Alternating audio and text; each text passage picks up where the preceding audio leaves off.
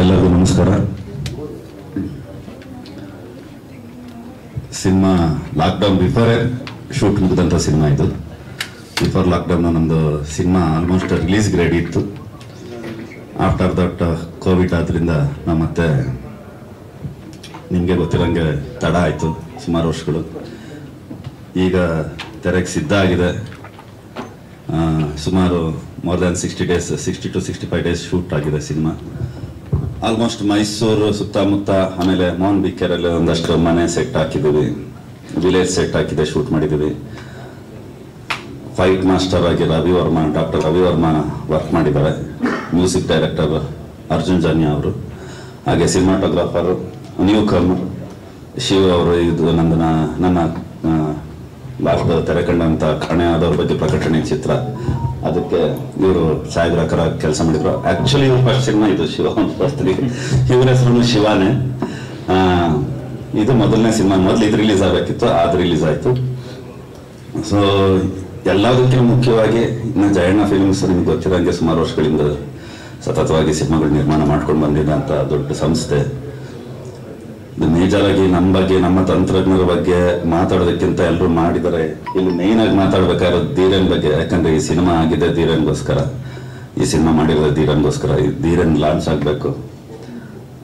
ಧೀರನ್ನ ಈಗ ನೀವು ನೋಡಿದಿರ ನೀವು ಕೇಳಬೇಕು ಈಗ. ತೆರೆ ಮೇಲೆ ಅವ್ರು ಯಾಕೆ ಕಾಣ್ತಿದ್ದಾರೆ?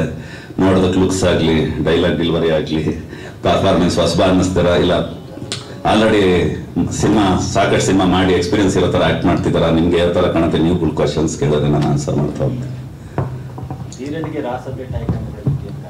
ಸರ್ ಅಂದ್ರೆ ಒಂದು ರಾಕಿ ಅವ್ರ ಫ್ಯಾಮಿಲಿಲಾಗ್ಲಿ ಜಯಣ್ಣ ಎಲ್ಲರೂ ಒಂದು ನಾನು ಈ ತಂಡಕ್ಕೆ ಕೊನೆಗೆ ನಂದು ಸ್ಟೆಪ್ ಇದ್ದಿದ್ದು.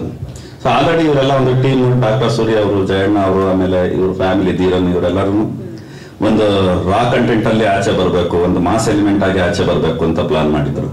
ಸೊ ಹಾಗಾಗಿ ಅದಾದ ನಂತರ ನನ್ನ ಕರೆಸಿದ್ರು ನಾನು ಅವಾಗ ಕಿರಾತಕ ಮಾಡ್ತಾ ಇದ್ದೆ. ನನ್ನ ಜಯಣ್ಣ ನೋಡಿದ್ರು ಇಲ್ಲ, ಇವ್ರು ಇವರು ಇದ್ರೆ ಚೆನ್ನಾಗಿರುತ್ತೆ ಅಂತ. ಸಾಕಷ್ಟು ನಂದು ಆಕ್ಷನ್ ಮೂವೀಸ್ ಚೆನ್ನಾಗಿ ಕ್ಲಿಕ್ ಆಗಿದ್ರಿಂದ ಪ್ರೀವಿಯಸ್ ನೀವೇ ಮಾಡ್ಬೇಕು ಅಂತ ಕರೆದ್ರು. ಅಲ್ಲಿ ಡಿಸ್ಕಷನ್ ಆಗ್ತಾ ಆಗ್ತಾ ಒಂದು ಈ ಥರದೊಂದು ರಿಯಲಿಸ್ಟಿಕ್ ಒಂದು ರಾ ಲವ್ ಸ್ಟೋರಿ ಮಾಡಬೇಕು ಅಂತ ಒಂದು ಪ್ಲಾನ್ ಆಯ್ತು. ಹಾಗಾಗಿ ಈ ಸಿನಿಮಾ ಇದು ರೌಡಿಸಮ್ ಸಿನಿಮಾ ಅಲ್ಲ. ಇದು ರೌಡಿಸಮ್ ಸಿನಿಮಾ ಅಲ್ಲ. ಹಾಗಂತ ಮಾಸ್ ಎಲಿಮೆಂಟ್ಗೆ ಏನು ಕೊರತೆ ಇಲ್ಲ.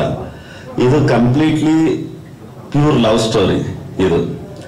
ಆ ಲವ್ ಸ್ಟೋರಿ ಅಂದ್ರೆ ಪ್ಯೂರ್ ಲವ್ ಸ್ಟೋರಿ ಜೊತೆ ಒಂದು ಡಿಸ್ಟರ್ಬಿಂಗ್ ಲವ್ ಸ್ಟೋರಿ ತುಂಬಾ ಡಿಸ್ಟರ್ಬ್ ಆಗುತ್ತೆ ಸಿನಿಮಾ ನೋಡಿದಾಗ, ತುಂಬಾ ಕಾಡುತ್ತೆ. ಈಗಿನ ಯೂತ್ಸು ಆಗಿನ ಕಾಲದಲ್ಲಿ ಲವ್ ಅನ್ನೋದಿದೆ ಕಾಲೇಜ್ ಡೇಸಿಂದ ಆಗಲಿ ಇವತ್ತಿಗೆ ಅದು ಜಾಸ್ತಿ ಇದೆ. ಒಂದು ಲವ್ ಅಂದ್ರೆ ಯಾವ ರೀತಿ ಕಾಪಾಡ್ಕೋಬೇಕು? ಕಾಪಾಡ್ಕೊಂಡಿಲ್ಲ ಅಂದ್ರೆ ಏನಾಗುತ್ತೆ? ಫೈನಲಿ ಕಾಪಾಡ್ಕೊಂತಾನ ಇಲ್ವಾ? ಅನ್ನೋದೇ ಶಿವ.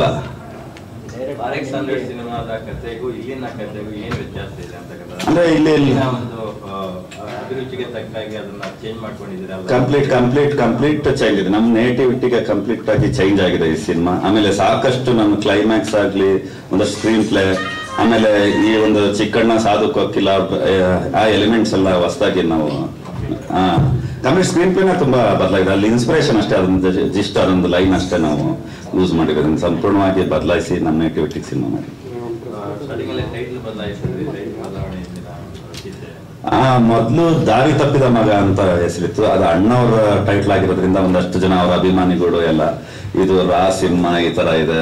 ಅಣ್ಣವ್ರ ಟೈಟ್ಲ್ ಎಷ್ಟು ಸುತ್ತ ಅಂತ ಎಲ್ಲ ಪ್ರಶ್ನೆ ಬಂದಾಗ ನಾವೊಂದಷ್ಟು ಜನ ನಮ್ಮ ಟೀಮ್ ಎಲ್ಲ ಕುತ್ಕೊಂಡು ಡಿಸ್ಕಸ್ ಮಾಡಿದ್ವಿ ಯಾವುದು? ಸರಿ ಅವ್ರಿಗೆ ಕಳಂಕ ಬರತ್ತಾ? ಅದಕ್ಕಿಂತ ಇನ್ನೇನಿಲ್ಲ. ಸಿನಿಮಾ ಮಾಡೋದಕ್ಕಿಂತ ಅವ್ರಿಗೆ ಹೆಸರು ಕಳಂಕ ಬರಬಾರ್ದು. ಅದು ಇಂಪಾರ್ಟೆಂಟ್ ಆ ಥರ ಆಗ್ತಿದೆ ಅಂತ ಯಾರಿಗೂ ಅನ್ನಿಸ್ತಿದೆ ಅಂದರೆ ಬೇಡ ಬೇಡ ಅಂದ್ಬಿಟ್ಟು ಚೇಂಜ್ ಮಾಡಿ ಅನಿಲ್ ಸರ್ ನಿಮಗೂ ಒಂದು ಹೊಸ ಜಾನರ್ ಕಾಮಿಡಿ ಆಯಿತು ಸಸ್ಪೆನ್ಸ್ ಆಯಿತು ಈಗ ಮಾಸ್ ನಿಮ್ಮ ತಯಾರಿ ನನ್ನ ತಯಾರಿ ಏನಿಲ್ಲ, ನಾನು ಟೆಕ್ನಿಕಲಿ ಸಾಕಷ್ಟು ಸಿನಿಮಾಗಳು ಮಾಡಿರೋದ್ರಿಂದ ನನಗೇನು ಅಂತ ವಸ್ತು, ನಾನು ಅಂತ ಏನು ಅನಿಸ್ಲಿಲ್ಲ. ತಯಾರಿ ನನಗೆ ಮೇನ್ ಇದ್ದಿದ್ದು ಧೀರನ್ನು. ಯಾಕಂದ್ರೆ ಸಾಕಷ್ಟು ವೆಯ್ಟೇಜ್ ಅದು, ತುಂಬಾ ತೂಕ ಇರುವಂತ ಫ್ಯಾಮಿಲಿ ಇಂದ ಬಂದಿರೋಂಥ ವ್ಯಕ್ತಿ. ಸೊ ಹಾಗಾಗಿ ಅವ್ರನ್ನ ತಯಾರಿ ಮಾಡ್ಬೇಕಿತ್ತು. ನಾನು ತಯಾರಿ ಮಾಡಕ್ ಮುಂಚೆ ಅವರೊಂದಷ್ಟು ತಯಾರಿಯಾಗಿ ಬಂದಿದ್ರು. ಆದ್ರೆ ಅವ್ರ ತಯಾರಿಯಾಗಿ ಬಂದಿದ್ರು, ಅವ್ರು ಫೈಟ್ ಕಲ್ತ್ ಬಂದಿದ್ರು ಡ್ಯಾನ್ಸ್ ಕಲ್ತ್ ಬಂದಿದ್ರು, ಎಲ್ಲ ಓಕೆ ಆದ್ರೆ ಡ್ಯಾನ್ಸ್ ಫೈಟ್ ಮಾಡೋರೆಲ್ಲ ಹೀರೋ ಆಗಲ್ಲ ಆ ತರ ನೋಡಿದ್ರೆ ತುಂಬಾ ಜನ ಡ್ಯಾನ್ಸರ್ಸ್ ಇದ್ದಾರೆ ಫೈಟರ್ಸ್ ಇದ್ದಾರೆ, ಪ್ರತಿಯೊಂದು ಜಿಮ್ಗೂ ಒಬ್ಬೊಬ್ಬ ಹೀರೋ ಸಿಗ್ತಾರೆ. ಆದ್ರೆ ಇಲ್ಲಿ ಏನಾಯ್ತು ಅಂದ್ರೆ ಈ ಕಥೆಗೆ, ಈ ಪಾತ್ರಕ್ಕೆ ಎಷ್ಟು ಚೆನ್ನಾಗಿ ಪರಾಕಾಯ ಪ್ರವೇಶ ಮಾಡಬಲ್ಲ, ಎಷ್ಟು ಚೆನ್ನಾಗಿ ಅಭಿನಯಿಸಬಹುದು ಅನ್ನೋದು ತುಂಬಾ ಮುಖ್ಯ ಆಗಿತ್ತು. ಅದಕ್ಕೆ ಸುಮಾರು ಟೂ ಟು ತ್ರೀ ಮಂತ್ಸ್ ನಾವು ವರ್ಕ್ಶಾಪ್ ಮಾಡಿದ್ವಿ. ಥಿಯೇಟರ್ ಇಂದ ಒಂದಷ್ಟು ಜನ ಫ್ಯಾಕಲ್ಟೀಸ್ ಬಂದಿದ್ರು.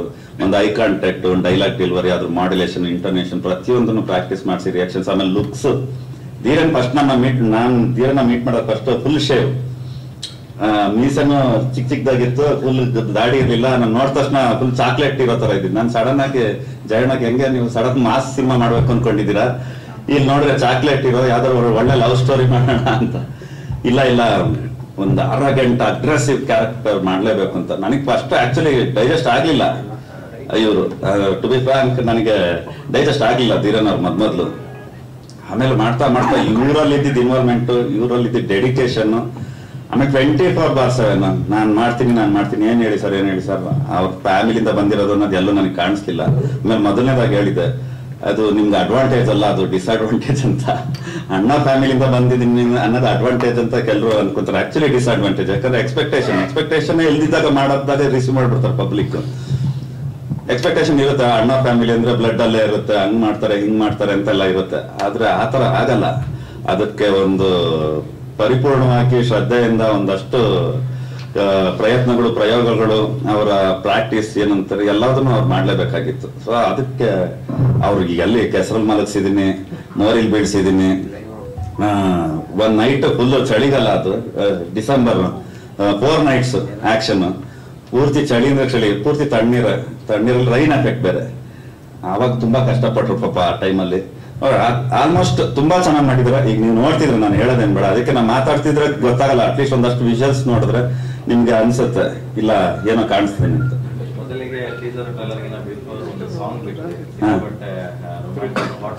ಹೌದು. ಇಲ್ಲ ನಾನು ಈ ಸಿನಿಮಾ ಮಾಡಿರೋದೇ ಯೂತ್ಸ್ಗೆ ನಾನು ಕಂಪ್ಲೀಟ್ಲಿ ಈ ಸಿನಿಮಾ ಕಾನ್ಸಂಟ್ರೇಟ್ ಮಾಡಿರೋದೇ ಯೂತ್ಸ್ಗೆ ನಾವು. ನಾನು ಅಂತಲ್ಲ ಇಡೀ ತಂಡ. ನಾವು ಕಾನ್ಸಂಟ್ರೇಟ್ ಮಾಡಿದ್ರೆ ಯೂತ್ಸ್ಗೆ ಯೂತ್ಸೇ ನೋಡಬೇಕು. ಫ್ಯಾಮಿಲಿಗೆ ಅಂತ ಏನು ಯೋಚನೆ ಮಾಡಿಲ್ಲ. ಹಾಗಂತ ಫ್ಯಾಮಿಲಿ ನೋಡಬಾರ್ದಂತ ವಿಷಯ ಇದೆ ಅಂತ ಏನಿಲ್ಲ ವಿಷಯ ಇದೆ. ವಿಷುವಲ್ಸ್ ಒಂದಷ್ಟು ನಾವು ತೋರಿಸ್ಲೇಬೇಕಾಗತ್ತೆ. ಒಂದಷ್ಟು ಒಳ್ಳೇದು ಹೇಳ್ಬೇಕು ಅಂದಾಗ ಆ ಜಾನರಲ್ಲಿ ಇದ್ದಾಗ ಆ ಜಾನರಲ್ಲಿ ಅಂದ್ರೆ ಬೇಕು. ಯಾಕಂದ್ರೆ ನಂದು ಹಿಂದಿನ ಸಿನಿಮಾದಲ್ಲಿ ಹೀರೋ ಹೀರೋಯಿನ್ ಟಚ್ ಕೂಡ ಮಾಡಿಲ್ಲ. ಯಾವ ಸಿನಿಮಾದಲ್ಲೂ. ಈ ಸಿನಿಮಾಲಿ ಮಾಡ್ಲೇಬೇಕು. ಯಾಕಂದ್ರೆ ತಾಂಡಿರೋ ವಿಷಯ ಆ ಥರದ್ದು. ಯಾವ್ದು ಮಾಡಬಾರ್ದು. ಏನ್ ಮಾಡ್ಬೇಕು? ಒಂದು ಲವ್ ಟೈಮಲ್ಲಿ ಯಾವ್ದು ಎಷ್ಟು ಲಿಮಿಟ್ ಅಲ್ಲಿ ಇರ್ಬೇಕು ಆಮೇಲೆ ಅದರಿಂದ ಪೇರೆಂಟ್ಸ್ಗಳಿಗೆ ಎಷ್ಟು ಎಫೆಕ್ಟ್ ಆಗುತ್ತೆ? ತಲೆಗೆ ತಗ್ಸೋಂಥ ಸಿಚುವೇಶನ್ಗಳು ಯಾವ ರೀತಿ ಬರುತ್ತೆ? ಅದನ್ನ ಅವ್ರು ಓವರ್ಕಮ್ ಮಾಡಿ ಹೇಗೆ ಆಚೆ ಬರ್ತಾರೆ? ತುಂಬಾ ವಿಷಯ ಇದೆ. ಫ್ಯಾಮಿಲೀಸ್ಗೂ ತುಂಬಾ ವಿಷಯ ಇದೆ. ಇಲ್ಲ ಅಂತಲ್ಲ. ಆದ್ರೆ ಮ್ಯಾಕ್ಸಿಮಮ್ ನಾವು ಕಾನ್ಸಂಟ್ರೇಟ್ ಮಾಡಿರೋದೇ ಯೂಸ್ಗೆ ಸೆನ್ಸರ್ ಇನ್ನೂ ಆಗಿಲ್ಲ. ಅಪ್ಲೈ ಮಾಡಿದ್ದೀವಿ. ಆದಷ್ಟು ಬೇಗ ಸೆನ್ಸರ್ ಕ್ರಿಯೇಟಿವಿಟಿಗೆ ತಕ್ಕ ಹಾಗೆ ಚೇಂಜಸ್ ಮಾಡ್ಕೊಂಡಿದ್ರು ಯಾಕೆ ಸ್ವಾಮಿ? ಯಾಕೆ ಅಂತ? ಸೋಮೇಕೆ ಮಾಡ್ಬೋದು. ಖಂಡಿತವಾಗ್ಲೂ ಮಾಡ್ಬೋದಿತ್ತು, ಇಲ್ಲ ಅಂತಲ್ಲ. ಈಗ ಏನಾಗುತ್ತೆ, ಕೆಲವು ಸಲ ನಾನು ಆಲ್ಮೋಸ್ಟ್ ನಾನು ಮಾಡಿರೋದೆಲ್ಲ ಸ್ಟ್ರೈಟ್ ಸಬ್ಜೆಕ್ಟ್ ಕೆಲವು ಸಲ ಏನಾಗುತ್ತೆ, ಈಗ ನಮ್ಮಲ್ಲಿರೋದು ಅಲ್ಲೆಲ್ಲ ಒಂದು ರೀಮೇಕ್ ಆಗುತ್ತೆ ನಮ್ಮ ಸಿನಿಮಾ, ಮುಂಗಾರು ಮಾಡಿ ನಮ್ಮ ಮತ್ತೊಂದು ಇನ್ನೊಂದು ಸಿನಿಮಾಗಳು ಅಲ್ಲಿ ರೀಮೇಕ್ ಆಗುತ್ತೆ. ನಮ್ಗೆ ಅದು ಖುಷಿ ನಮ್ಮ ಕನ್ನಡ ಸಿನಿಮಾ ಅಲ್ಲಿ ರೀಮೇಕ್ ಆಗ್ತಿದೆ ಅಂತ. ಅಲ್ಲಿಂದ ಮಾಡಿದ್ರೆ ಬೇಜಾರು.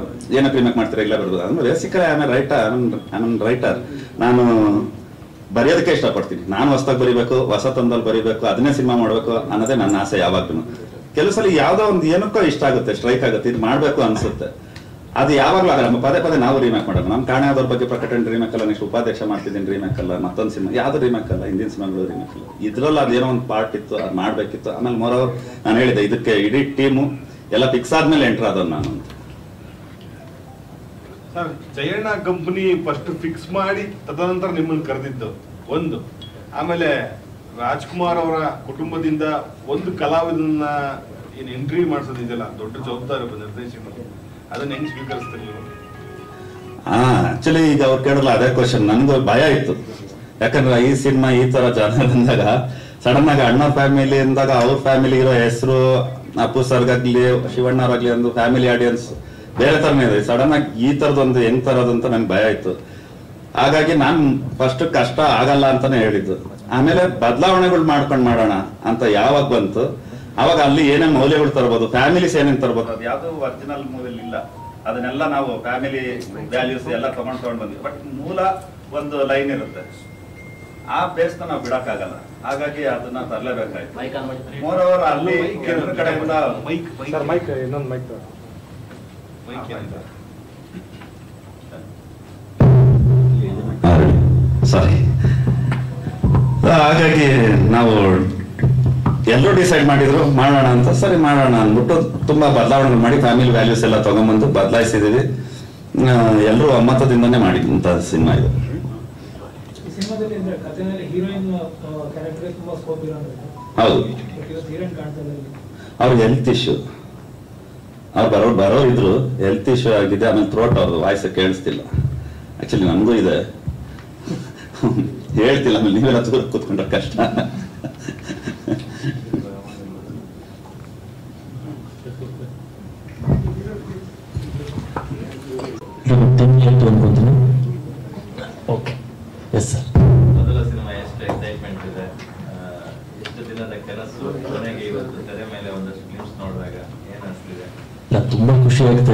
ಮೊದಲನೇ ಸಿನಿಮಾ ಸರ್ ಹೇಳಿದಾಗೆ ಸರ್ ಹೇಳಿದಾಗೆ ಲಾಕ್ಡೌನ್ಗಿಂತ ಮುಂಚೆ ಸ್ಟಾರ್ಟ್ ಆದಂಥ ಸಿನಿಮಾ.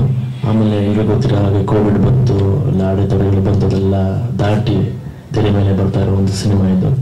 ತುಂಬ ಖುಷಿ ಆಗ್ತಾ ಇದೆ. ಸ್ವಲ್ಪ ನೋವು ಮಿಕ್ಸ್ಡ್ ಇಮೋಷನ್ಸ್ ಥರ ಇದ್ದೇ ಇದೆ.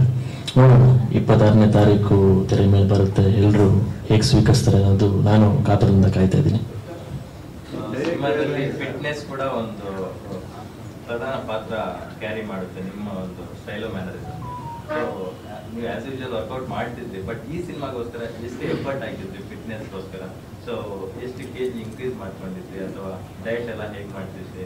ಎಷ್ಟು ದಿನ ವರ್ಕೌಟ್ ಮಾಡಿದ್ರಿ? ಇಲ್ಲ ವರ್ಕೌಟ್ ನೀವು ಹೇಳಿದಾಗೆ ಮುಂಚೆಯಿಂದನೂ ಇತ್ತು ಬಟ್ ಈ ಸಿನಿಮಾ ಬಂದಾಗ ಒಂದು ಫಿಸಿಕಲ್ ಟ್ರಾನ್ಸ್ಫಾರ್ಮೇಶನ್ ಇದೆ.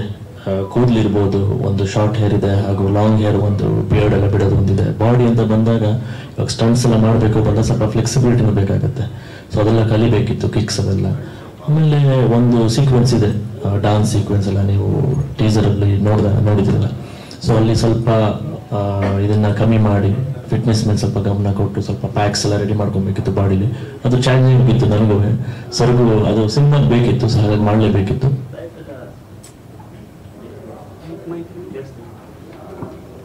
ಹಲೋ ಕೇಳಿಸ್ತದೆ. ಸೊ ಡಯಟ್ ಎಲ್ಲ ಮಾಡಲೇಬೇಕಿತ್ತು ಸರ್. ಸೊ ಅದು ನಾರ್ಮಲ್ ಆಗೂ ಇತ್ತು.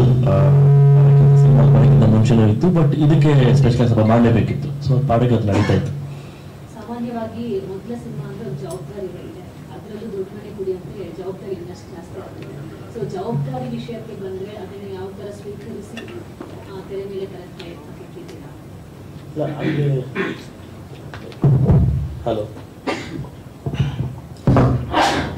ಆಗಲೇ ಹೇಳಿದಾಗೆ ಜವಾಬ್ದಾರಿಯಿಂದ ಬಂದ ತಕ್ಷಣ ಖಂಡಿತವಾಗ್ಲೂ ಇದ್ದೇ ಇರುತ್ತೆ ಮ್ಯಾಮ್ ಬಟ್ ಅದನ್ನ ಹೇಗೆ ನಿಭಾಯಿಸ್ತೀವಿ ಅನ್ನೋದು ನಾವು ತಗೊಂಡ್ಲೇಬೇಕಾಗತ್ತೆ ಜವಾಬ್ದಾರಿಯಿಂದ ಇದ್ದೇ ಇರುತ್ತೆ ಪ್ರೆಷರ್ ಇದ್ದೇ ಇರುತ್ತೆ, ಈ ಫ್ಯಾಮಿಲಿಯಿಂದ ಬಂದಿದ್ದೀವಿ ಅನ್ನೋದು ಇದ್ದೇ ಇರುತ್ತೆ. ಬಟ್ ಈ ಸಬ್ಜೆಕ್ಟ್ ತುಂಬಾ ಚಾಲೆಂಜ್ ಆಗಿತ್ತು ನನಗೆ ಮಾಡೋಕ್ಕೆ. ಸೊ ಹಾಗಾಗಿ ನಾನು ಒಪ್ಕೊಬೇಕು ಅಂತ ನನಗೆ ಆ ಒಂದು ಕಥೆ ಕಾಡ್ತಾ ಇತ್ತು.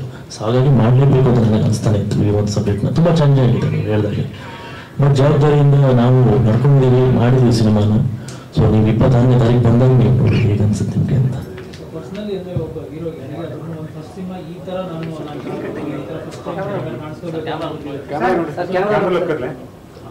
ನಿಮ್ಗೆ ಈ ತರ ಸಬ್ಜೆಕ್ಟ್ ನಿಮ್ಮ ಆಟಲ್ಲಿ ಇದ್ದಿದ್ದು ಏನು ಬೇರೆ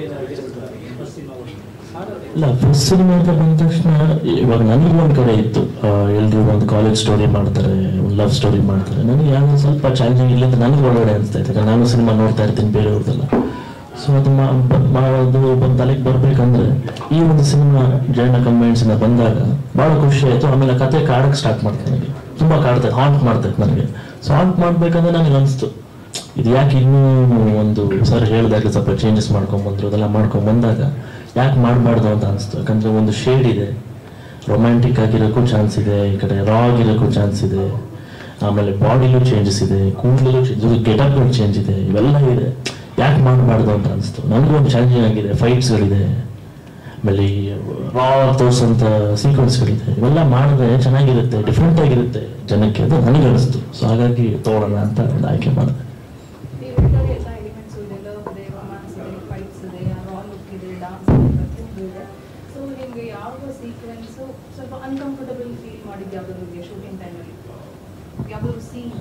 ಗುಡ್ ಕ್ವೆಶ್ಚನ್ ಸ್ವಲ್ಪ ರೊಮ್ಯಾಂಟಿಕ್ ಸೀನ್ಸ್ ನೋಡ್ಬೇಕಂತ ಸ್ವಲ್ಪ ಅನ್ಕಂಫರ್ಟಬಲ್ ಆಯಿತು ಬಟ್ ಅದು ಏನು ಮಾಡೋಕ್ಕಾಗಲ್ಲ. ಸೊ ಗುಡ್ ಡೈರೆಕ್ಷನ್ ಸರ್ ಒಳ್ಳೆ ಡೈರೆಕ್ಟ್ ಮಾಡಿದ್ರು. ಸೊ ಹಾಗಾಗಿ ಮಾಡ್ಕೊಳ್ಬೇಕಿತ್ತು ಅಷ್ಟೇ. ಇನ್ನೇನು ಡೈರೆಕ್ಷನ್ ಅಷ್ಟೇ ಮಾಡುತ್ತೆ.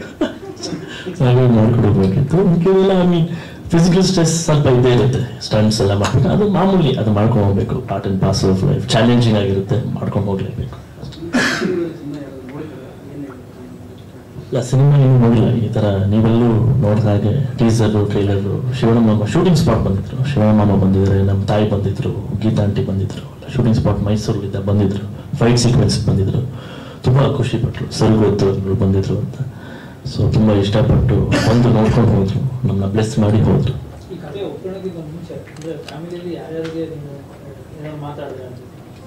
ಹೌದೌದು ಗುರುಮಮ್ಮ ಇರ್ಬೋದು ನಮ್ಮ ತಂದೆ ಇರ್ಬೋದು ಶಿವಣ್ಣಮ್ಮ ರಾಘವಮ್ಮ ನಮ್ಮ ತಾಯಿ ನಮ್ಮ ಆಂಟಿ ಎಲ್ರಿಗೂ ನಾವು ಹೇಳಬೇಕು ಕಥೆನ ಈ ಥರ ಇದೆ ಸಬ್ಜೆಕ್ಟು ಈ ಥರ ಇದೆ. ಅವರೆಲ್ಲ ಹೇಳಿದ್ರು ಒಂದೇ, ನಿನಗೆ ಇಷ್ಟ ಆಯ್ತಾ? ನಿನಗೆ ಇಷ್ಟ ಆಯ್ತಾ? ನಿನಗೆ ತುಂಬ ಇಷ್ಟ, ನಿನಗೆ ಕಾಡ್ತಾ ಇದೆಯಾ? ಹೌದಮ್ಮ ನನಗೆ ಕಾಡ್ತಾ ಇದೆ. ಮಾಡು ಮತ್ತೆ. ಮುಂದೆ ಏನು ಎದ್ರುಕೊಂಬೇಡ ಮಾಡು ಯಾಕಂದರೆ ಟ್ರೆಂಡ್ ತಕ್ಕಂಗೆ ಸಿನಿಮಾ ಮಾಡಬೇಕು. ಇವಾಗ ಅರ್ಜೆಂಟ್ ರೆಡಿ ಬರುತ್ತೆ, ಇನ್ನೊಂದು ಬರುತ್ತೆ, ಅದು ಬರುತ್ತೆ. ಅವೆಲ್ಲರೂ ಎಲ್ಲರೂ ನೋಡ್ತಾರಲ್ವಾ? ಸೊ ನಾವು ಆ ಟ್ರೈನಿಂಗ್ ಆ ಥರ ಮೂಡಿ ಬಂದಾಗ ನಾವು ಮಾಡಿದ್ರೆ ತಪ್ಪೇನಿಲ್ಲ. ಅಷ್ಟು ಕತೆ ಅಷ್ಟು ಚೆನ್ನಾಗಿದ್ದಾಗ. ಸೊ ಮಾಡು, ಏನು ತೊಂದರೆ ಇಲ್ಲ. ನಿಮ್ಗೆ ಇಷ್ಟ ಆಗಿದೆ ಅಂದರೆ ಮಾಡು. ನಿಮಗೆ ಅದು ತುಂಬ, ಅದೇ ನಿಮ್ಗೆ ಹೇಳ್ದಾಗ ಕಾಡುತ್ತೆ ಅಂತ ಬಂದು ಮಾಡು ಅಂತ ಅಷ್ಟೇ. ಸೊ ಅವ್ರ ಒಪ್ಪಿಗೆ ಇಲ್ಲದೆ ನಾವೇನು ಮಾಡೋಕೆ ಹೋಗಿಲ್ಲ. ಎಲ್ಲರೂ ಒಪ್ಪಿಗೆ ತೊಗೊಂಡು ನಾವು ಮಾಡಿರೋದು ನೀವು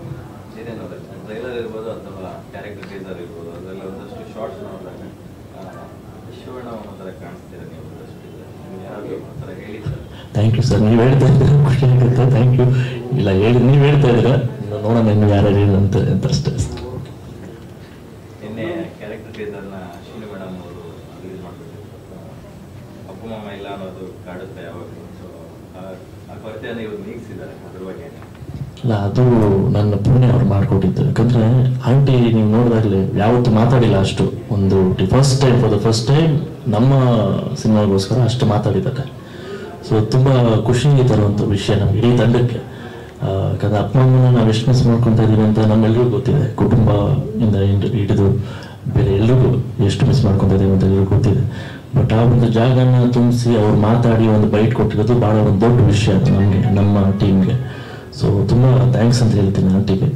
ಬಟ್ ತುಂಬ ಖುಷಿ ಆಗುತ್ತೆ ಮಾಡ್ಕೊಟ್ರಲ್ಲ ಅಂತ, ತುಂಬ ಖುಷಿ ಆಗುತ್ತೆ ಅಷ್ಟೇ. ಅವ್ರು ಮಾಡ್ಕೊಟ್ಟಿದ್ದಷ್ಟೇ ಖುಷಿ ಆಗುತ್ತೆ. ಅಪ್ಪ, ಮಾವ ಮಾಡ್ಕೊಟ್ರು ಅಂತಾನೆ ನಮ್ಗೆ ಅನ್ಸಿದ್ದು ಅಷ್ಟೇ ಅವ್ರು ಮಾಡ್ಕೊಟ್ಟಿದ್ದು.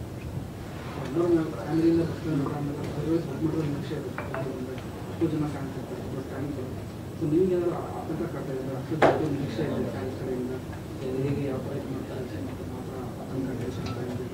ಇಲ್ಲ ಸಹಜವಾಗಿದೆ ಸರ್. ಆ ಟೆನ್ಷನ್ ನೀವು ಹೇಳಿದಾಗಲೇ ಇದೆ ಯಾವಾಗಲೂ ಇರುತ್ತೆ ಅದು. ಸಿನಿಮಾ ಶೂಟಿಂಗ್ ಸ್ಟಾರ್ಟ್ ಆದಾಗಿಂದಲೂ ಇದೆ.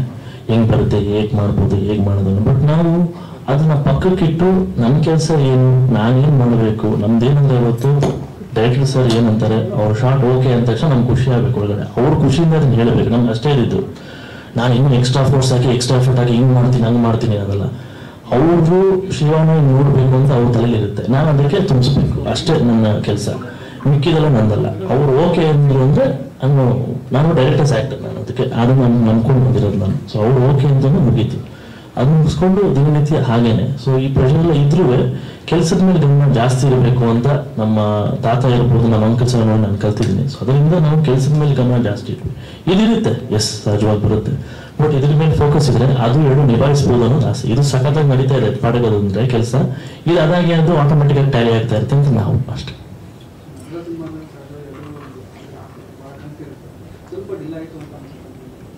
ಡಿಲೇ ಡಿಲೇ ಅಂದರೆ ಎಲ್ಲರೂ ಗೊತ್ತಿರೋ ಹಾಗೆ ಕೋವಿಡ್ ಅನ್ನೋದು ಬಂತು ಸರ್. ಅದು ಯಾರನ್ನು ನಾವು ಯಾರು ತಡೆಯೋಕ್ಕಾಗಲಿಲ್ಲ ಅಂತ. ಸೊ ಅದಕ್ಕೆ ಲಸಿಕೆ ಏನಾದ್ರು ಬರಬೇಕಿತ್ತು ಪ್ರೋಟೋಕಾಲ್ ಅನ್ನೋದಿತ್ತು ಇವೆಲ್ಲ ಇತ್ತು ಇವೆಲ್ಲ ದಾಟಿ ನಾವು ಸಿನಿಮಾ ಮಾಡಬೇಕಿತ್ತು. ಸೊ ಕಾಯ್ಬೇಕಿತ್ತು. ಎಲ್ರಿಗೂ ಎಷ್ಟೊಂದು ಸಿನಿಮಾಗಳು ಬರೋದು ಬಾಕಿ ಇತ್ತು, ದೊಡ್ಡ ದೊಡ್ಡ ಸಿನಿಮಾಗಳು ಬರೋದು ಬಾಕಿ ಇತ್ತು. ಇವಾಗ ನೋಡ್ಕೊಂಡು ನಾವು ಶೂಟಿಂಗ್ ಸ್ಟಾರ್ಟ್ ಮಾಡೋದಿರಲಿ, ಇಲ್ಲ ರಿಲೀಸ್ ಡೇಟ್ ಅನೌನ್ಸ್ ಮಾಡೋದಿರಲಿ ನೋಡ್ಕೊಂಡು ಬಿಡಬೇಕಿತ್ತು. ಸುಮ್ಮನೆ ಟಪ್ ಟಪ್ ಟಪ್ ಅಂತ ಯಾವುದು ಫಾಸ್ಟಾಗಿ ಮಾಡೋಕ್ಕಾಗಲ್ಲ ಸೊ ನೋಡ್ಕೊಂಡು ಮಾಡಬೇಕಿತ್ತು. ಇದೆ, ಅದು ಎಲ್ರಿಗೂ ಇದೆ. ಅಂತ ಆ ಒಂದು ಟೈಮಲ್ಲಿ ಎಷ್ಟೊಂದು ಜನ ಸಿನಿಮಾ ಸ್ಟಾರ್ಟ್ ಮಾಡಿದ್ರು. ಯಂಗ್ಸ್ಟರ್ಸ್ ಇರ್ಬೋದು, ದೊಡ್ಡ ದೊಡ್ಡ ಸಿನಿಮಾಗಳು ಇರ್ಬೋದು ಎಲ್ಲ ಸಿನಿಮಾಗಳು ಅನೌನ್ಸ್ ಆಗಿತ್ತು ಬಟ್ ಎಲ್ಲ ಮುಂದಕ್ಕೆ ಹೋಗ್ತಾ ಇತ್ತು. ಯಾಕಂದ್ರೆ ಕೋವಿಡ್ ಎಲ್ಲ ಒಂದ್ರಿಂದ ಅದರಿಂದ ನಾವು ಯಾರು ಏನು ಮಾಡೋಕ್ಕಾಗಿಲ್ಲ. ಇವಾಗ ಕೊನೆಗೆ ಇಪ್ಪತ್ತಾರನೇ ತಾರೀಕು ಆಗಸ್ಟ್ ಬರ್ತಾ ಇದೆ. ನೀವೆಲ್ಲರೂ ನೋಡಿ ಖುಷಿ ಪಡ್ತೀರ ಅಂತ ನಾನು ಅನ್ಕೊಂಡಿದ್ದೀನಿ ಅಷ್ಟೇ.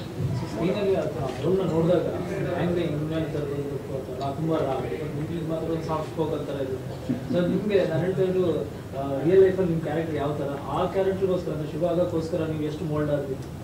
ಇಲ್ಲ ಅದು ಸರ್ ಹೇಳಿದಾಗ ವರ್ಕ್ಶಾಪ್ ಎಲ್ಲ ಮಾಡಿದ್ವಿ ಸೊ ಅದು ಕ್ಯಾರೆಕ್ಟರ್ ಒಳಗೆ ನಾವು ಹೋಗ್ಬೇಕಿತ್ತು ನನಗೆ ಅವರು, ಸರ್ ಹೇಳ್ತಾರೆ ಹಿಂಗೆ ಮಾಡಿದ್ರೆ ಹಂಗೆ ಮಾಡಿದ್ರೆ ಚೆನ್ನಾಗಿರುತ್ತೆ ಅಂತ. ಸೊ ವರ್ಕ್ಶಾಪ್ ಎಲ್ಲ ತುಂಬ ಹೆಲ್ಪ್ ಮಾಡ್ತು ನಮಗೆ. ಸೊ ಸಾಫ್ಟ್ವೇರ್ ಮಾತಾಡ್ತಾ ಸಾಫ್ಟ್ವೇರ್ ಅಷ್ಟೇ. ವೈಲೆಂಟ್ ಆಗೋದು ಅದು ಕ್ಯಾರೆಕ್ಟರ್ಗೋಸ್ಕರ ಬಟ್ ಸರ್ ಹೇಳಿದಂಗೆ ಅದು ವರ್ಕ್ಶಾಪಿಂದ ಹೆಲ್ಪ್ ಆಯ್ತು ನನಗೆ ಅಷ್ಟೇ. ಎಲ್ಲ ಕ್ಯಾರೆಕ್ಟರ್ ನಿಭಾಯಿಸೋದಿರ್ಬೋದು, ಹೇಗೆ ಮಾಡಬೇಕು ಡೈಲಾಗ್ ಡೆಲಿವರಿಯಿಂದ ಇತ್ತು ಇಂಟೋನೇಷನ್ ಪಾಸು ಸ್ಕ್ರೀನ್ ಮಾಡಬೇಕಂದ್ರೆ ಎಷ್ಟು ಕಿರ್ಸ್ಬೇಕು ಏನು ಕತೆ ಎಲ್ಲ ಅದು. ಎಲ್ಲ ಸರ್ ಹೇಳಿದ್ರು ಅದ್ರ ತಕ್ಕಂಗೆ ನಾವು ಮಾಡಿದ್ದೀವಿ ಅಷ್ಟೇ ಸರ್ ಅದು ಒನ್ ಫೋರ್ ತ್ರೀ ಅಂದ್ರೆ ಅದು ಐ ಲವ್ ಯು ಆಗುತ್ತೆ ಪಾಪ ಹೀರೋನ್ ಕಡೆಯಿಂದ ಐ ಹೇಟ್ ಯು ಅಂತ ಆಗ್ಬೋದು ಗೊತ್ತಿಲ್ಲ. ಹಾ, ಎರಡೂ ಇದೆ. ಐ ಹೇಟ್ ಯು ಅವ್ರ ಕಡೆಯಿಂದ ಐ ಹೇಟ್ ಯು ಆಗುತ್ತೆ. ಅವ್ರ ಕಡೆಯಿಂದ ಐ ಹೇಟ್ ಯು ಆಗುತ್ತೆ. ನಮ್ಮ ಕಡೆಯಿಂದ ಐ ಲವ್ ಯು ಅಂತ ಆಗುತ್ತೆ. ಪ್ರೇಕ್ಷಕರು ಏನ್ ಹೇಳ್ತಾರೆ? ಐ ಲವ್ ಅಂತಾರೆ ಐ ಹೇಟ್ ಅಂತಾರೆ ಕೊನೆಯಲ್ಲಿ. ನಮ್ಮ ಕಡೆಯಿಂದ ಐ ಲವ್ ಯು ಅಂದ್ರೆ ಒಳ್ಳೇದಾಗುತ್ತೆ ನಮ್ಗೆ ಅಂತ. ಐ ಲವ್ ಯು ಅಂತಾರೆ ಅಂತ ನನ್ನ ನಂಬಿಕೆ. ಈಗ ಕೆಲವು ಸಲ ಏನಾಗುತ್ತೆ? ಯಾವ್ದೋ ಒಂದು ಗ್ಲಿಮ್ಸ್ ಯಾವ್ದೋ ಒಂದು ಶಾರ್ಟ್ ನೋಡಿ ಚಿಕ್ಕ ಬಿಟ್ ನೋಡ್ಬಿಟ್ಟು ಸಿನಿಮಾ ನಡೆಯೋಕ್ಕಾಗಲ್ಲ. ಯಾಕಂದ್ರೆ ಈ ಸಿನಿಮಾ ನೋಡಿದಾಗ ಹಂಡ್ರೆಡ್ ಪರ್ಸೆಂಟ್ ಕಾಡುತ್ತೆ. ಎಕ್ಸ್ಪೆಷಲಿ ಯೂತ್ಸ್ ಸಖತ್ ಫೀಲ್ ಆಗ್ತಾರೆ. ಈವನ್ ಪೇರೆಂಟ್ಸ್ ಅವರು ಕೂಡ ಫೀಲ್ ಆಗ್ತಾರೆ. ಅಂದ್ರೆ ಲೈಫ್ ಎಷ್ಟು ಈಸಿಯಾಗಿ ಅಂದ್ರೆ ಡೈವರ್ಷನ್ ಒಂದು ಯಂಗ್ ಏಜ್ ಅಲ್ಲಿ ಒಂದು ಸ್ಮಾಲ್ ಸ್ಟೆಪ್ಸ್ ಒಂದು ಸ್ಮಾಲ್ ಡಿಸಿಷನ್ ಹೆಂಗೆ ರಾಂಗ್ ವೇಗೆ ಟರ್ನ್ ಆಗುತ್ತೆ ಅನ್ನೋದು. ಅದು ಗೊತ್ತಾಗಬೇಕಾಗಂತ ಗೊತ್ತಾಗ್ಬೇಕಾಗಂತ ವಿಷಯ ಅದು ಈ ಸಿನಿಮಾದಲ್ಲಿ ತುಂಬಾ ಅಚ್ಚುಕಟ್ಟಾಗಿ ನೀಟಾಗಿ ಬಂದಿದೆ. ಎಲ್ಲರೂ ಅಚ್ಚುಕಟ್ಟಾಗಿ ಅಭಿನಯಿಸಿದ್ದಾರೆ. ಕ್ಲೈಮ್ಯಾಕ್ಸ್ ಅಲ್ಲಿ ತುಂಬಾ ಫೀಲ್ ಆಗುತ್ತೆ. ಆಮೇಲೆ ಬೇಸಿಕಲಿ ಇದು ರಿಯಲ್ ಇನ್ಸಿಡೆಂಟ್ ಕೂಡ. ನಿಜವಾದ ಶಿವ ಅನ್ನೋ ಒಬ್ಬ ವ್ಯಕ್ತಿಯ ಕತೆ ಇದು. ಸೊ ಹಾಗಾಗಿ ಅದನ್ನ ಆಟತ್ತೆ ಅಂಟುತ್ತೆ ಫೀಲ್ ಆಗುತ್ತೆ, ಕಾಡುತ್ತೆ. ಚೆನ್ನಾಗಿ ಮಾಡಿದ್ದಾರೆ. ಚರಣ್ ರಾಜ್ ಅವರು ಹೀರೋ ಹೀರೋಯಿನ್ ಪಾತ್ರ ಹೊರತುಪಡಿಸಿದ್ರೆ ಅವರೇ ಜಾಸ್ತಿ ಇರೋದು ಆ ಸಿನಿಮಾಲಿ ತುಂಬಾ ಚೆನ್ನಾಗಿ ಅಭಿನಯಿಸಿದ್ದಾರೆ ಅವರು. ತುಂಬಾ ಆಪ್ಟ್ ಅಂದ್ರೆ ತುಂಬಾ ಸೂಟ್ ಆಗಿದ್ದಾರೆ ಆ ಪಾತ್ರಕ್ಕೆ. ಆಮೇಲೆ ಇನ್ನ ಸಾಧು ಕೆಲವರು ಚಿಕ್ಕಣ್ಣ ಬಗ್ಗೆ ಮಾತಾಡಂಗಿಲ್ಲ. ಅವರು ಒಳ್ಳೆ ಫನ್ ಎಂಟರ್ಟೈನ್ ಮಾಡಿದ್ದಾರೆ. ಇವನ್ ಮಾನವೀಯತೆ ಓಕೆ ನೀವು ಕೇಳ್ತಿದ್ರು ಅಣ್ಣ ಫ್ಯಾಮಿಲಿ ಈ ತರ ಕೆಲವೊಂದು ಇದು. ಹಂಗ್ ನೋಡಿದ್ರೆ ಹೀರೋಯಿನಿಗೆ ಇನ್ನೂ ಜಾಸ್ತಿ ಇಂಪ್ಯಾಕ್ಟ್ ಆಗಂತ ವಿಷಯ. ಆದ್ರೆ ಅವರು ತುಂಬಾ ಅದ್ಭುತವಾಗಿ ಅಭಿನಯಿಸಿದ್ರು. ಆಮೇಲೆ ನಾವು ಅಷ್ಟೇ ಕಂಫರ್ಟ್ ಝೋನ್ ಕೊಟ್ಟಿದ್ದೀವಿ ಸುಮ್ಮನೆ ಏನೋ ಉಡಾಫಲ್ಲಿ ಅವತ್ತು ಯಾರು ಕೆಲಸ ಮಾಡಿಲ್ಲ. ಹಾಗಂತ ಏನೋ ಮಾಡ್ಬೇಕಲ್ಲ ಅಂತನೂ ಮಾಡಿಲ್ಲ. ಇದು ಬೇಕಾ, ಬೇಡವಾ ಏನಕ್ಕೆ ಬೇಕು ಎಷ್ಟಿರ್ಬೇಕು ಹಾಗೆ ಮಾಡಿದ್ದೆ. ಓವರ್ ಆಲ್ ಸಿನಿಮಾ ಇರೋ ವಿಷಯನೇ ಬೇರೆ, ಹೇಳ್ತಿರೋ ವಿಷಯನೇ ಬೇರೆ. ತುಂಬಾ ಅದ್ಭುತವಾಗಿ ಅವರು ತುಂಬಾ ಚೆನ್ನಾಗಿ ಆಕ್ಟ್ ಮಾಡಿದ್ದಾರೆ ಆಕ್ಚುಲಿ ಮಾನ್ವಿತಾ ಕಾಮತ್ ಕೂಡ ತುಂಬಾ ಚೆನ್ನಾಗಿ ಅಭಿನಯಿಸಿದ್ದಾರೆ. ಅವ್ರನ್ನ ಹೊಸ ತರ ನೋಡ್ಬೋದು ಈ ಸಿನಿಮಾಲಿ ಅವ್ರದ್ದು ಡ್ಯೂಯಲ್ ಕ್ಯಾರೆಕ್ಟರ್ ಇವ್ರದ್ದು ಡ್ಯೂಯಲ್ ಕ್ಯಾರೆಕ್ಟರ್. ಇವೆರಡನ್ನು ಬ್ಯಾಲೆನ್ಸ್ ಮಾಡಕ್ ನಂಗೂ ಸ- ಸಾಕಷ್ಟು ಕಷ್ಟ ಆಯ್ತು. ಆಮೇಲೆ ಶಿವ ಡಿ ಇದು ಮೊದಲನೇ ಸಿನಿಮಾ ಅವ್ರು ಮಾಡಿದ್ದು. ನನಗೆ ಮೊದಲಿಂದ ಮೊದ್, ಹೊಸಬ್ರಿಗೆ ಅವಕಾಶ ಕೊಡಬೇಕು. ಅದು ನಮ್ಮವ್ರಿಗೆ, ನಮ್ಮ ಕನ್ನಡದವ್ರಿಗೆ ಕೊಡಬೇಕು ಅನ್ನೋ ಆಸೆ ಇತ್ತು. ಇವರು ಅಸಿಸ್ಟೆಂಟ್ ಕ್ಯಾಮ್ರಾಮನ್ ಆದಾಗಿಂದ ನನಗೆ ತುಂಬ ಅಪ್ರೋಚ್ ಮಾಡ್ತಾನೆ ಇದ್ರು. ಒಂದಷ್ಟು ಅಲ್ಲಿ ಇಲ್ಲಿ ಏನೇನೋ ಶೂಟ್ ಮಾಡಿ ಈಗ ಹೆಂಗೆ ನೀವು ಎಲ್ಲ ಸೆಲ್ ಫೋನ್ ಇಟ್ಕೊಂಡೆಲ್ಲ ಶೂಟ್ ಮಾಡ್ತೀರಾ? ಆ ಥರ ಸೆಲ್ ಫೋನಲ್ಲಿ ಏನೇನೋ ಶೂಟ್ ಮಾಡ್ಕೊಂಡು ಎಡಿಟ್ ಮಾಡ್ಕೊಂಡು ಎಲ್ಲ ತೋರಿಸ್ತಾ ಇದ್ರು. ಬಟ್ ಈಗ ಈ ಸಿನಿಮಾ ನೀವು ನೋಡ್ತಿದ್ರೆ ಹೆಂಗೆ ಧೀರನ್ನು ಫಸ್ಟ್ ಟೈಮ್ ಆಕ್ಟ್ ಮಾಡಿದ್ದಾನೆ ಅಂತ ಅನ್ನಿಸ್ತಿಲ್ವ? ಹಾಗೆ ಶಿವು ಕೂಡ ಅಷ್ಟೇ. ಫಸ್ಟ್ ಟೈಮ್ ಆ್ಯಕ್ಟ್ ಆ ಲೈಟಿಂಗ್ ಪ್ಯಾಟ್ರನ್ ಆಗಿರ್ಬೋದು ಆ ಮೂಡ್ ಆಗಿರ್ಬೋದು ಒಂದು ಫ್ರೇಮಿಂಗ್ ಆಗಿರ್ಬೋದು ಫಸ್ಟ್ ಟೈಮ್ ಅಂತ ಯಾರಿಗೂ ಅನ್ಸಲ್ಲ. ಅಷ್ಟು ಚೆನ್ನಾಗಿ ಡಿ ಐ ವರ್ಕ್ ಆಗಲಿ ಶಾರ್ಟ್ಸ್ ಆಗಲಿ ಮೇಕಿಂಗ್ ಎಲ್ಲ ತುಂಬ ಚೆನ್ನಾಗಿ ಮಾಡಿದ್ದಾರೆ. ಎಲ್ರಿಗೂ ನಮಸ್ಕಾರ ಸರ್.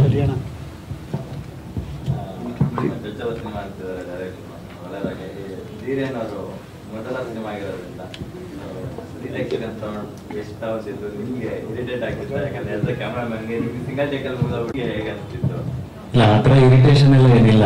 ಸಿ ನಂದು ಫಸ್ಟ್ ಅಪ್ರೋಚ್ ಆಗಿರೋದ್ರಿಂದ ಎಲ್ಲರೂ ಟೀಮ್ ಆಗಿ ವರ್ಕ್ ಮಾಡ್ತಿರ್ಬೇಕಾದ್ರೆ ಒನ್ ಮೋರ್ ಮಾಡಿದಾಗ ಇನ್ನೂ ಬೆಟರ್ಮೆಂಟ್ ಏನಾದ್ರು ಸಿಗ್ಬೋದೇನೋ. ಅಂಡ್ ನನಗೂ ಒಂದು ಸ್ಪೇಸ್ ಸಿಗೋದು, ಏನಾದ್ರು ಕರೆಕ್ಷನ್ ಇದ್ರೆ ಮಾಡ್ಕೊಂಡಾಗ ಒಂದ್ ಮೋರ್ ರೆಡಿ ಆಗೋ ಥರ. ಸೊ ಟೀಮ್ ಆಗಿ ಒನ್ ಮೋರ್ ಆ ಥರ ಏನು ತೊಂದರೆ ಏನಿಲ್ಲ. ತುಂಬಾ ಚೇರ್ಫುಲ್ ಆಗಿ ಮಾಡ್ತಾ ಇದ್ವಿ.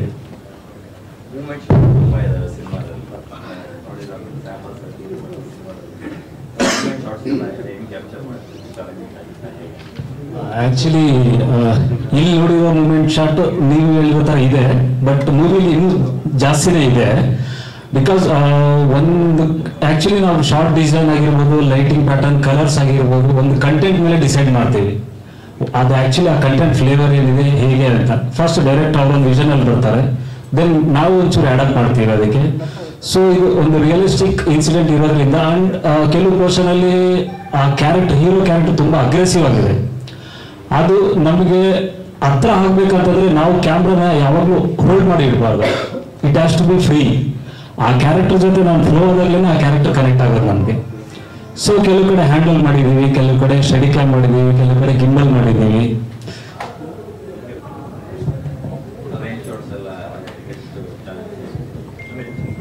ರೇಂಜ್ ಶಾರ್ಟ್ಸ್ ಚಾಲೆಂಜಿಂಗ್ ನನ್ ಕಂಪೇರ್ ಮಾಡಿದ್ರೆ ಧೀರನವ್ರಿಗೆ ಜಾಸ್ತಿ ಚಾಲೆಂಜಿಂಗ್ ಇತ್ತು. ಸೊ ನಮ್ಗೇನಂತ ಹೇಳಿದ್ರೆ ನೀವು ಆಲ್ರೆಡಿ ಮುಂಚೆ ವರ್ಕ್ ಮಾಡಿರೋದ್ರಿಂದ ಆ- ಆ ಥರ ಏನು ಡಿಫಿಕಲ್ಟೀಸ್ ಏನು ಇರಲಿಲ್ಲ. Basically light fire window rain ಇರ್ಬೇಕಾದ್ರೆ ಸಿನಿಮಾಟೋಗ್ರಾಫರ್ಸ್ ತುಂಬಾ ಇಂಟ್ರೆಸ್ಟಿಂಗ್ ಆಗಿರುತ್ತೆ. ಪ್ಲೇ ಮಾಡೋದಕ್ಕೆ ನಾನು ಎಂಜಾಯ್ ಮಾಡಿದೆ ತುಂಬಾ ಚೆನ್ನಾಗಿ.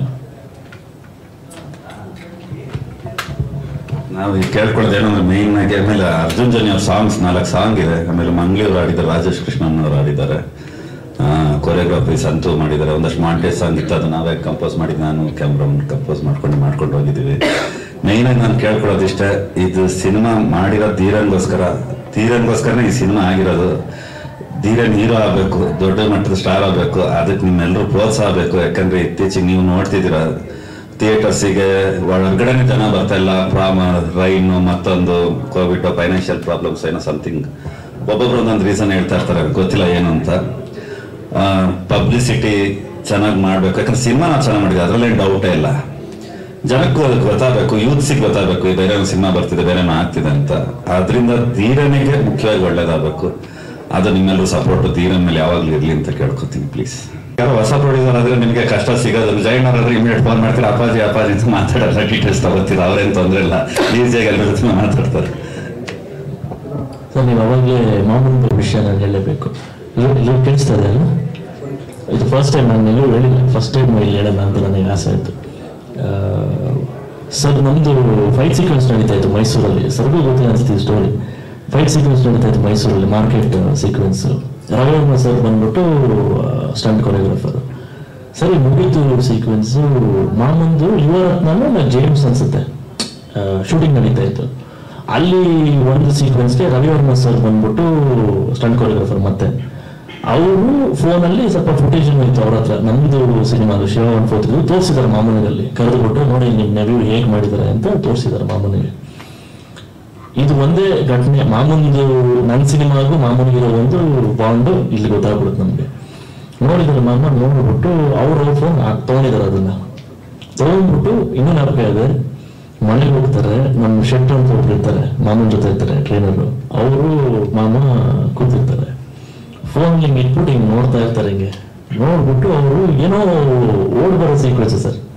ಅದು ನೋಡ್ಬಿಟ್ಟು ಇಷ್ಟ ಆಗ್ಬಿಟ್ಟು ಒಂದು ಕಣ್ಣು ನೋಡೋ ಒಂದು, ಕಣ್ಣು ನೋಡೋ ಒಂದು ಅಂತ ಹೇಳ್ತಾರೆ. ಇದು ಒಂದೇ ಬ್ಲೆಸ್ಸಿಂಗ್ಸ್ ಅವ್ರು ನನ್ಕೊಟ್ರೆ ಕಣ್ಣು ನೋಡೋ ಒಂದು ಬಿಡೋ ಪರವಾಗಿಲ್ಲ. ನಮ್ಮ ಫ್ಯಾಮಿಲಿ ಒಬ್ಬ ಹೀರೋ ಇಟ್ಕೊಂಡು ಯಾವನೊಬ್ಬ ಬಂದ ಬಿಡೋದು, ನಾನು ಇಟ್ಕೊತಾನೆ ಅಂತ ಹೇಳಿದ್ರು.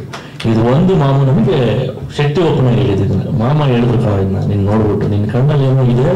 ಆಮೇಲೆ ಬಿಡು, ನಮ್ಮ ಫ್ಯಾಮಿಲಿ ಒಬ್ಬ ಹುಡ್ಕೊಂಡ ಬಿಡು ಅಂತ ಹೇಳಿದ್ರು ಮಾಮ. ಇದೇ ಅವ್ರು ಲಾಸ್ಟ್ ನನಗೆ ಬ್ಲೆಸ್ಸಿಂಗ್ಸ್ ಅವರು ಅದನ್ನು ಹೇಳಿದ್ರು, ಅವ್ನು ಹೇಳ್ಬೇಡ ಅವ್ನಿಗೆ ಇವಾಗ. ಅವ್ನು ಏನಾದ್ರು ತಲೆಗೆ ಹಾಕೊಂತ ಅವ್ನು ಹೇಳ್ಬೇಡ. ಬಟ್ ಶೆಟ್ಟಿ ಆಮೇಲೆ ಇದೆಲ್ಲ ಆದ್ಮೇಲೆ ಹೇಳಲೇಬೇಕಿತ್ತು ನನಗೆ. ಸೊ ಹೇಳಿದ್ರು. ಸೊ ಇವುದು ಎಲ್ಲೂ ನಾನು ಶೇರ್ ಮಾಡಿಲ್ಲ. ಫಸ್ಟ್ ಟೈಮ್ ಹೇಳೋಣ ಇಲ್ಲಿ ಅಂತ ನನಗೆ ಅನಿಸ್ತು ಕೇಳೋಣ ಅಂತ ಅಷ್ಟೇ.